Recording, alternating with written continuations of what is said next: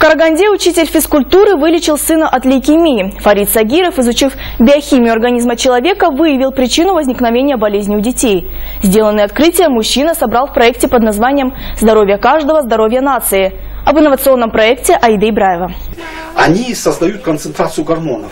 Просто прыжки. Или вот, допустим, прыжки вот на месте в различных направлениях. Во-первых, это координация.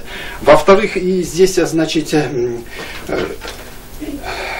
ориентация в пространстве. Фарид Сагиров, тренер со стажем, в Караганду приехал недавно. Главной причиной переезда стала болезнь сына. О диагнозе лейкемия у мальчика родители узнали два года назад. Это и стало отправной точкой для создания проекта «Здоровье каждого, здоровье нации». Сегодня о своем проекте мужчина говорит с гордостью, ведь благодаря простым правилам здоровья Фарид Сагиров вылечил своего сына.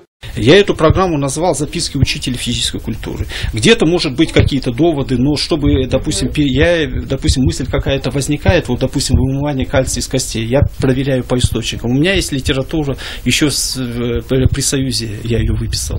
Вот, она должна быть основана. Именно сбалансированная программа по питанию и по здоровому жизни. И я такую программу, я вот не хочу хвалить, допустим, что это, чтобы довести до людей, вот такая, если программа, она лежала бы на столе у каждого.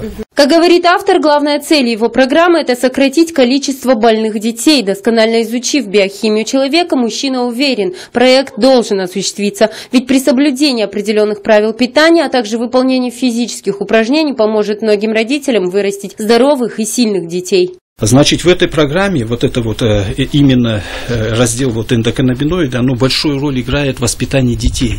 Именно вот введение активного образа жизни, чтобы вот эти вещества образовывались в нервных клетках не за счет, допустим, потребления э, сладкого или там в подростковом периоде алкоголя, а именно за счет того, что дети занимались активным образом жизни. Главная рекомендация по здоровому питанию от Фарита Сагирова – это употребление натуральных продуктов. Как говорит спортсмен, рацион человека должен состоять из определенных ингредиентов натуральное питание. Основа питания это мясо, это белок, это аминокислоты. Для организма человеческого необходимо 20 аминокислот. Они все есть в мясе. Наша карагандинская, допустим, у нас на юге Казахстана баранина, конина.